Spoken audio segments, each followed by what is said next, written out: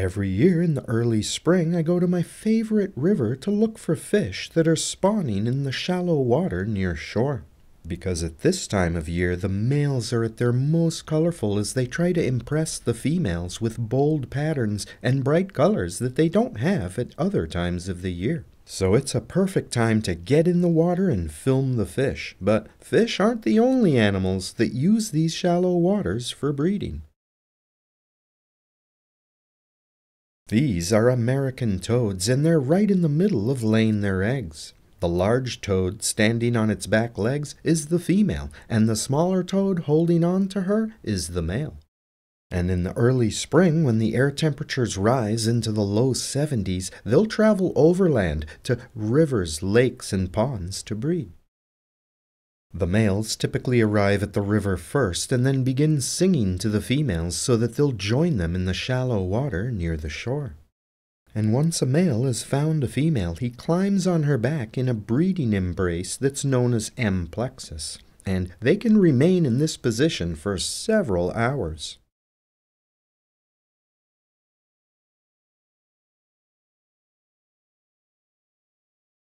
The female lays her eggs and the male fertilizes them externally as they're released. The eggs are laid in two long strings because the female has two ovaries, so there's one string of eggs for each one of her ovaries.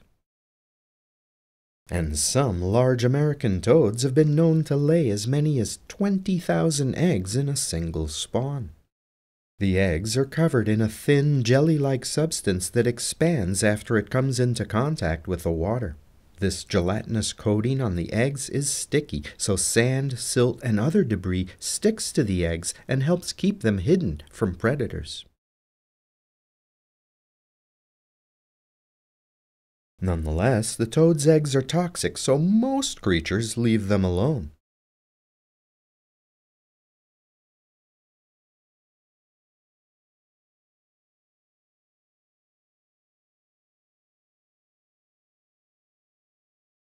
The eggs are half white and half black. The white side of the egg is where the embryo will form, and the black side of the egg is where the yolk is.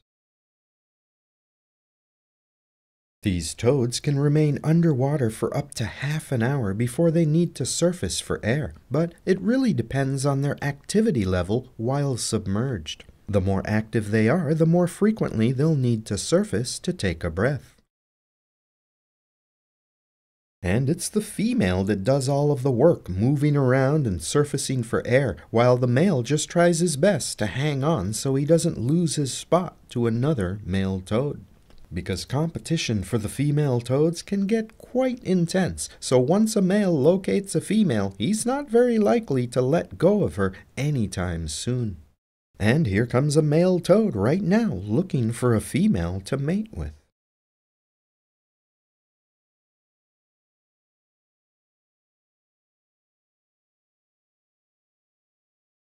Nonetheless, there are more males than females at the breeding site, so there's a lot of competition between the males for a chance to mate. And you'll sometimes see a female carrying several males on her back, all fighting for a chance to mate with her.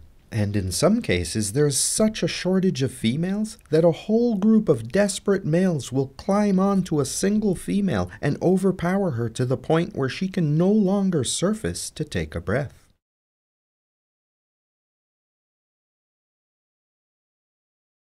And I think we all know how that turns out for the female. So, once a male finds a mate, he holds on to her as if his life depends on it, because other males will try and remove him if they can.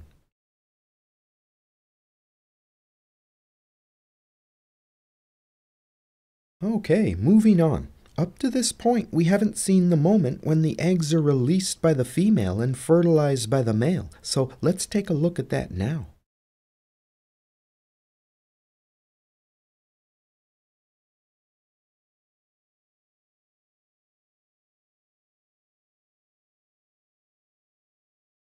I've paused the video here so that I can explain what you're about to see next.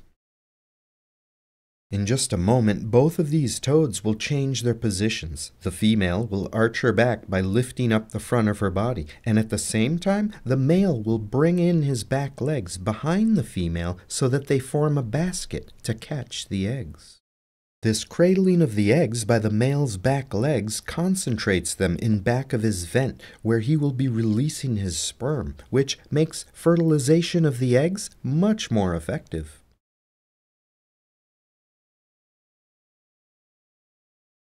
All right, let's start the video back up again and watch as the female releases her eggs while the male fertilizes them. She arches her back, then the male brings in his back legs and starts fertilizing the eggs. Unfortunately, as I moved around to the back of the toads to film the cluster of eggs caught by the male's legs, I positioned the camera too high to capture what I was after.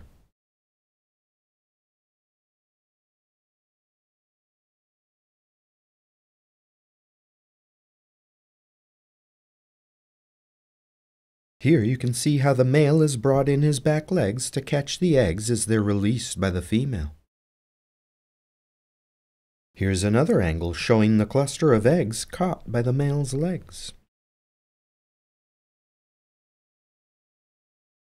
And now, after all of that hard work, the female swims to the surface to take a breath with the male still holding on as tight as he can.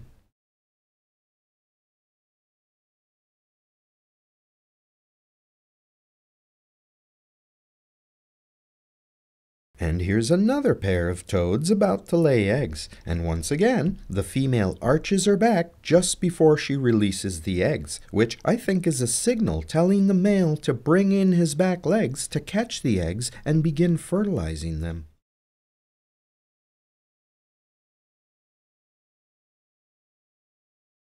By the way, this toad can't feed while it's underwater, so those black-nosed dace that you see swimming around are in no danger of being eaten by the toad. Still, he sure looks menacing as he sits at the bottom of the stream waiting for a mate, but he's fairly harmless unless a really big fish makes the mistake of trying to eat him. And in just a moment, you'll see my favorite fish in the river. And there it is. It's a baby tessellated darter. These bottom-dwelling fish can grow to a length of about 3 inches or nearly 8 centimeters and lay their eggs on the undersides of rocks and logs. The males are very nice-looking fish during the breeding season.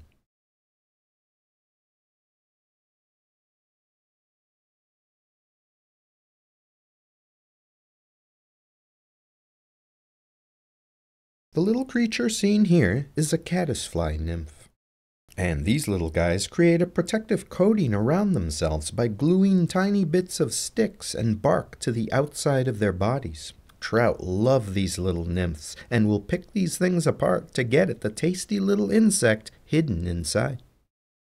Nonetheless, I'm sure everyone has noticed by now that these toads have a lot of different color variations. In fact, all four of the toads that you see here are a different color, and that toad couple on the left is especially attractive, and I'm sure that they'll make some really beautiful little baby toads.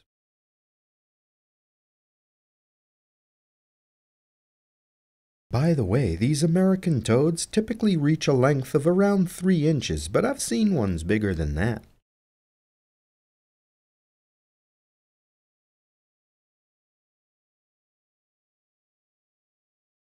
As you can see, these toads have been very busy breeding, and they've spread their eggs all over the riverbed.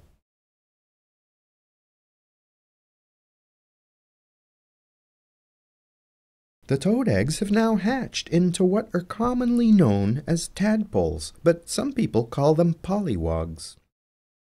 These tadpoles are at a similar developmental stage as a fish wriggler. They're still absorbing the last bits of their yolk sac, and they can't swim, but they do wriggle occasionally, just like a baby fish in the wriggler stage. And just like the eggs, these tadpoles are toxic, so most things won't try to eat them. But there are exceptions because this crayfish eats both the eggs and the tadpoles, so it's a good thing that the female toads can lay so many eggs.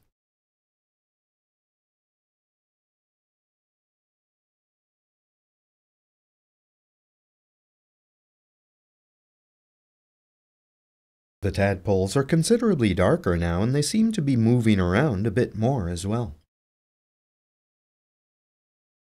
There are thousands of them along the riverbed, and they seem to gather in the same areas. They could be doing that on their own, or it could be due to the influence of the current.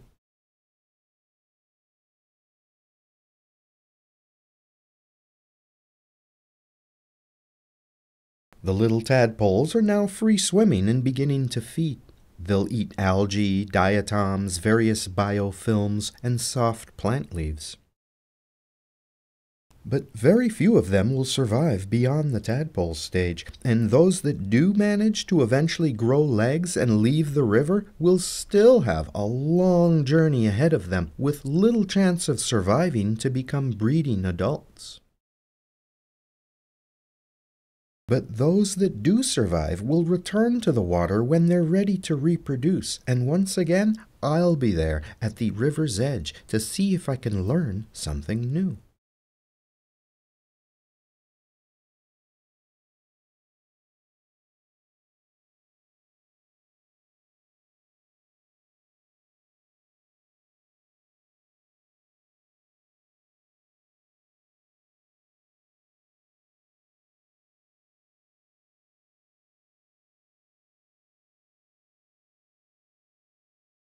And that brings us to the end of another journey. Thanks for joining me, and I really hope that you have a beautiful day.